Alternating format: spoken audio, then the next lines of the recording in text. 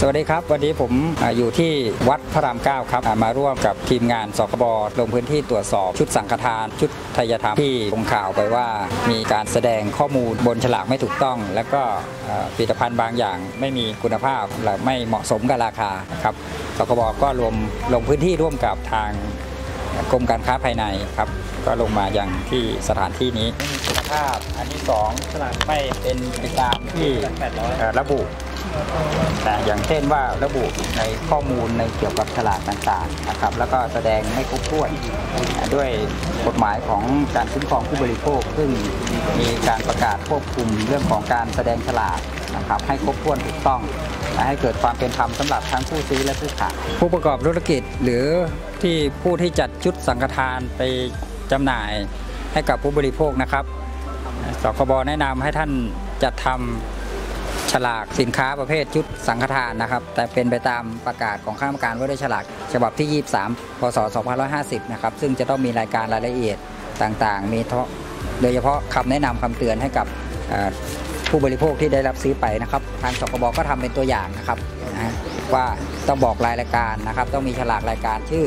นะฮะชื่อชุดสังฆทานชุดไทยธรรมต้องบอกรายการต่างๆ ว่าในภาชนะบรรจุ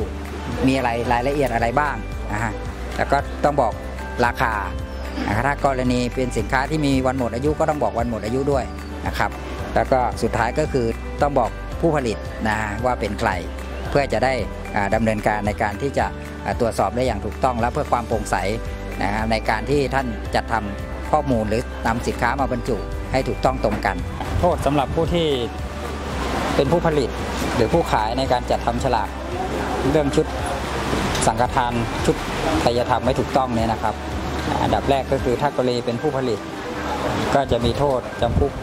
ไม่เกิน 1 ปี ปรับไม่เกิน 2 0 0 0 0 0บาทหรือทั้งจำทั้งปรับนะครับถ้ากรณีของผู้ขายก็ลงโทษจำคุกไม่เกิน 6 เดือน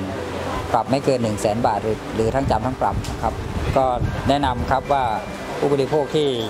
จะเลือกชุดสังฆทานที่มีการห่อบรรจุเรียบร้อยแล้วก็ต้องอ่านฉลากต้องดูฉลากนะครับ อย่างน้อยก็ต้องมีฉลากนะครับ ในการที่แสดงรายการทั้งหลายที่อยู่ในชุดสังฆทานว่ามีรายการอะไรบ้าง มีราคาแต่ละรายการเท่าไหร่ แล้วก็ดูดูแต่ละรายการด้วยนะครับ ว่ามีความเหมาะสมไหมครับ การกำหนดราคานะครับ ต้องมีการแสดงคำเตือนด้วยครับว่าสินค้าที่บรรจุภายใน ถ้ามีปฏิกิริยาต่อกัน ไม่ว่าจะเป็นประเภทอาหารผงซักฟอกหรืออะไรเงี้ยนะครับ ถ้ามีปฏิกิริยาต่อกันก็ต้องมีคำเตือนว่าควรจะแยกออกจากกันโดยเร็วนะครับ สุดท้ายก็ต้องมีแหล่งผลิตนะครับหรือแหล่งบรรจุ แสดงให้เห็นนะเพื่อความโปร่งใสในการที่จะ